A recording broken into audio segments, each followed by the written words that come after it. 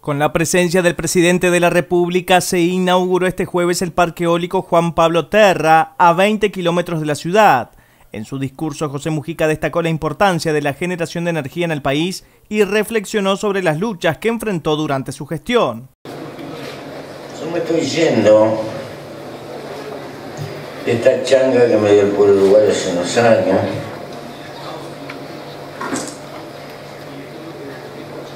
Pero no me estoy yendo de la vida por ahora. Y si tuviera que hablar, diría que hoy convergen viejas y largas luchas.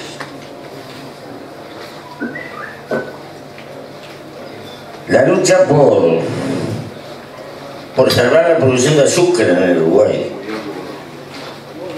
En mi lomo llevo por lo menos 25 años, interpelando ministros en soledad, tratando de que no se les doblara la cabeza a muchos intelectuales y técnicos, incluso compañeros de mi fuerza política. El Uruguay no podía producir azúcar porque estábamos en la frontera y todo lo demás. Larga lucha. Comprendida a veces y mil veces no comprendida. Porque más allá de los errores que siempre se cometen y que son inevitables, al existe y la caña de azúcar existe en este norte porque hubo gente que peleó y peleó y peleó a muerte. Y no fueron solo los peludos del norte. Fuimos gente de otras partes que la defendió. El Instituto de Colonización, condenado a morir en la reforma del año 92, que el pueblo uruguayo se olvida que no salió y no salió porque cometió el error que ofendió al pueblo uruguayo de ponerle un ingreso a los ediles. Y el pueblo uruguayo se calentó y no la votó contra todo el estamento político que lo llevaba metido en el paquete de los acuerdos, el veneno prácticamente de liquidar el Instituto de Colonización. ¿Y qué es el Instituto de Colonización? es nada más ni nada menos que el principal propietario de tierra que hay en el Uruguay hoy y el agente que nos permite luchar contra la concentración de la tierra garantizando un pedazo de suelo a familias pobres futuras del Uruguay que quieran trabajar la tierra y con ello contribuir a tener campo poblado para que dentro de unos años alguien nos avise que bajó un plato volador porque de lo contrario los paisanos pobres los corren con plata por las leyes del mercado.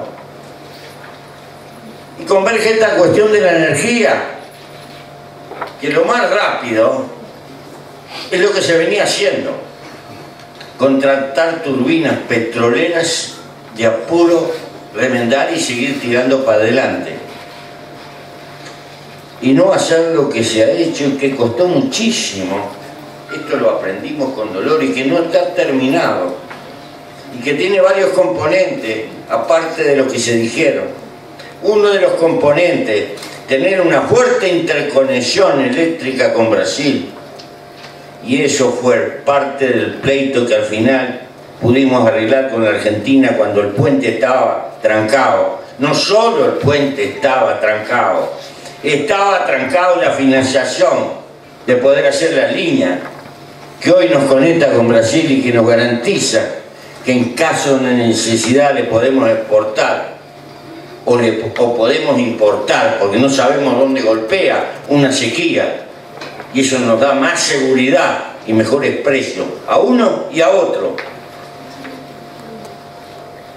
Y al mismo tiempo, en un país donde hicimos campaña por un país productivo, pero fue campaña en serio, no puede haber país productivo si no tiene solucionado en el largo plazo el problema de la energía. No se pueden hacer inversiones importantes. Y hace muchos años que veníamos remendando. Porque al lado de esta cuestión de la energía hay que poner la regasificadora que se está construyendo en la boca de Montevideo para que el Uruguay tenga otra matriz energética al gas, pero que también este sirva como agente eventual de generador de energía porque se está haciendo también una formidable inversión de una usina de ciclo combinado que nos permita utilizar el gas como reserva cuando viene la sequía, cuando nos golpean, cuando las otras... ¿Por qué? Porque hay que tener alternativa, hay que tener variable. Entonces esto constituye un paquete y no damos el lujo que le vendemos energía a la Argentina. ¿Quién te dijo? El petizo atendiendo el gigante